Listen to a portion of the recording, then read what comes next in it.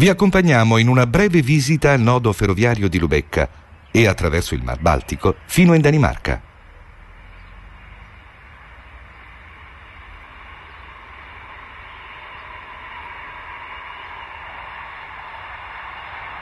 Le prime idee di costruire una ferrovia che collegasse Lubecca ad Amburgo risalgono al 1831.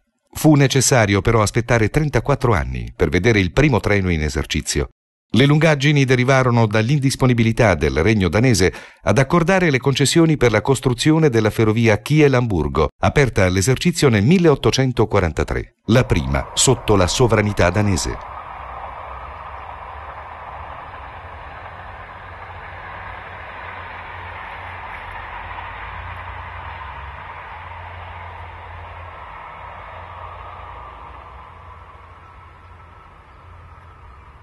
La nuova tratta, aperta nel 1865, vide subito un notevole traffico merci e viaggiatori.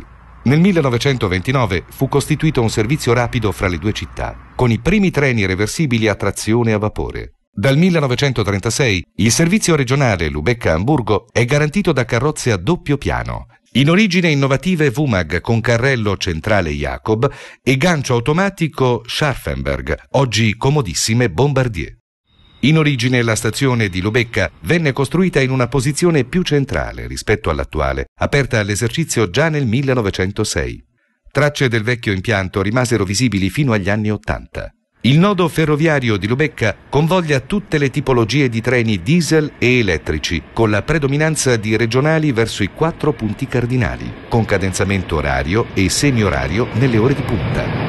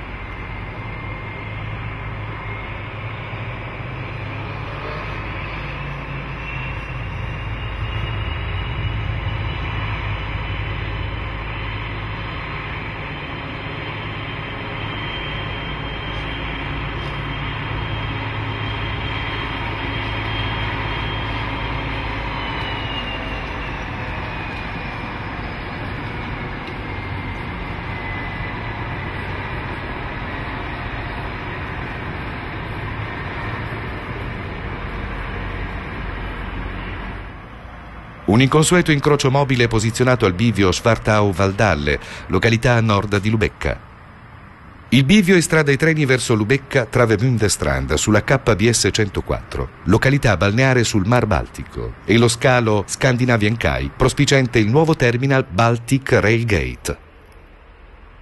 In corretto tracciato e in trazione diesel, le linee KBS 145 e 140 raggiungono rispettivamente Kiel e Puttgarden.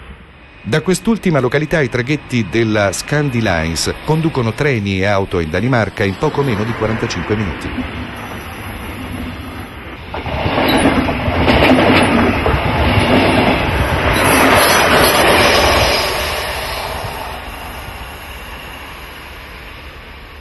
Il servizio internazionale è garantito dagli autotreni tedesco-danesi ICE BR605 e dagli inguardabili IC3 serie 5000 danesi.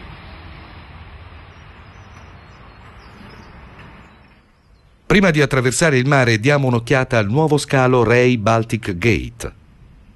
Aperto nell'agosto 2003, ha una capacità di 6 binari da 600 metri ciascuno, utilizzati da 22 treni giornalieri, di cui due coppie provenienti da Verona e Novara. Il retroporto è lo scalo di Lubecca Scandinavian Kai. Il Femarn Sundbrücke è l'anello di congiunzione fra il continente e l'omonima isola. Il ponte sullo stretto di Fermansund consente a strada e ferrovia di raggiungere velocemente il porto di Puttgarden, da dove partono i traghetti per la Danimarca.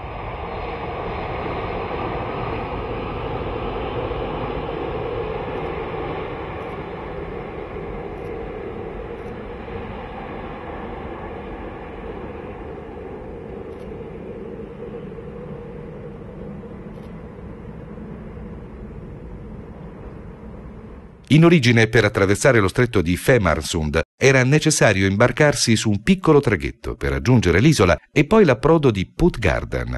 I primi progetti di ponte ferroviario puro risalgono al 1912. Solo nel 1941, con l'occupazione tedesca della Danimarca, iniziarono i lavori per la costruzione di un ponte promiscuo.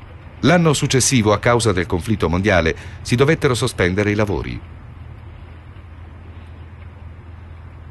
Nel 1952 vennero presentati due progetti per attraversare lo stretto di Femarsund con un ponte o una galleria. I lavori di costruzione iniziarono nel gennaio del 1960.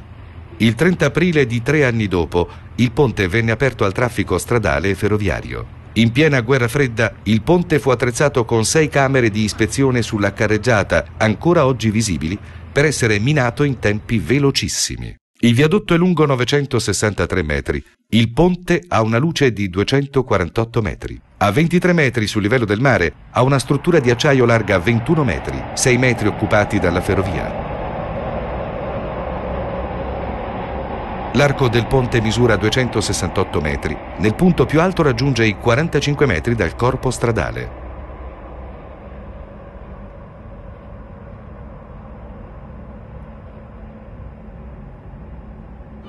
Attraversato lo stretto e l'isola di Femarn, la ferrovia raggiunge Puttgarden, di fronte al porto danese di Rodby Ferg. Motonavi traghetto della compagnia Scandilines attraversano il Femarnbelt, garantendo il servizio pubblico tutto l'anno. I treni accedono ai garage delle navi in autonomia, condotti unicamente dal macchinista danese, che consegna il treno al collega tedesco nella stazione di Puttgarden.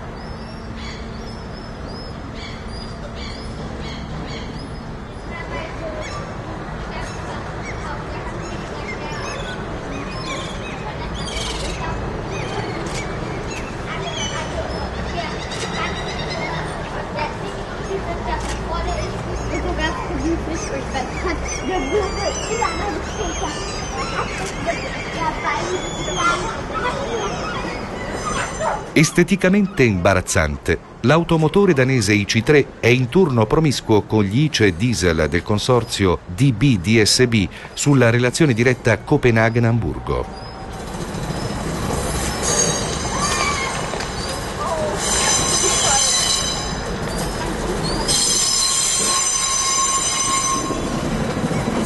Effettuato il servizio viaggiatori, il treno si imbarca nella stiva della nave traghetto senza i troppi fronzoli a cui siamo abituati alle nostre latitudini.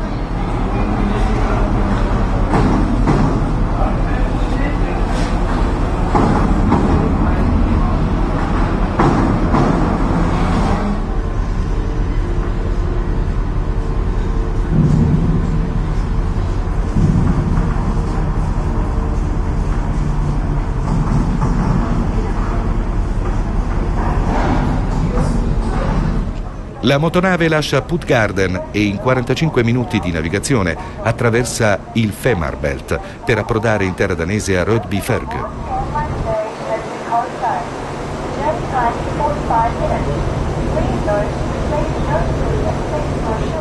È piena estate e il traffico sul Baltico è tanto. Turisti, autisti, ma anche semplici pendolari si godono la breve crociera.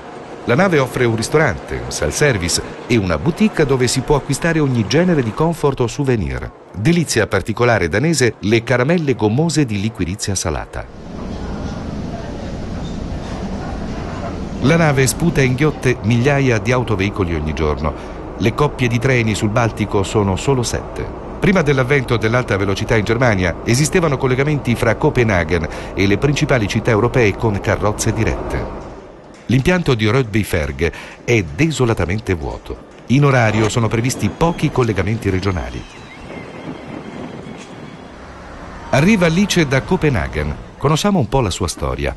Nato come treno per servizi Intercity Express su linee non elettrificate, nel momento di massimo splendore dell'alta velocità in Germania, il BR 605 non ha avuto grande fortuna. Entrato in servizio nel 2001 con 20 unità treno da 4 carrozze, viene assegnato al deposito di Monaco di Baviera dove espleta servizi verso Dresda e Zurigo. Un anno dopo, a seguito di una rottura di un asse, tutto il gruppo viene fermato per sicurezza e per approfondite indagini. Rimesso in servizio dopo un anno, DB giudica il treno troppo oneroso per manutenzione e consumo. Dal 2007, dopo l'attrezzaggio con il sistema di sicurezza danese, gli ICE operano sulla rotta Copenaghen-Amburgo e sulla Amburgo-Arus via Flensburg. Terminato il servizio viaggiatori, il treno si avvia verso l'imbarco.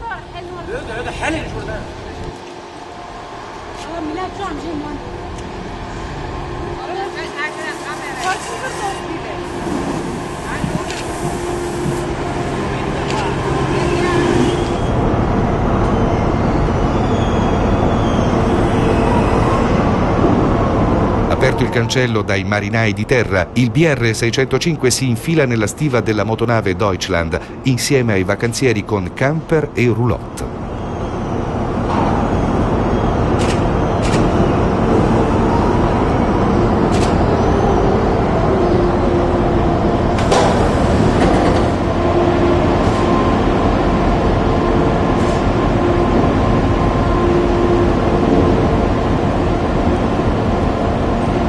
È ora di andare anche per noi. L'idea è di riprenderlo a bordo del traghetto. Peccato che l'imbarco passeggeri sia già chiuso.